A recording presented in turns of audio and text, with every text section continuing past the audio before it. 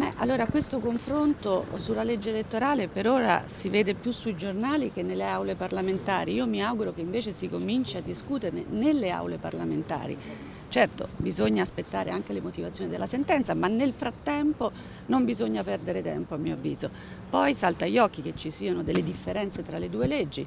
C'è una differenza che ancora non è emersa, a me sta a cuore, quella della doppia preferenza di genere alla Camera ce l'abbiamo, al Senato no, quindi anche questo forse vale la pena dire, attenzionare questo aspetto.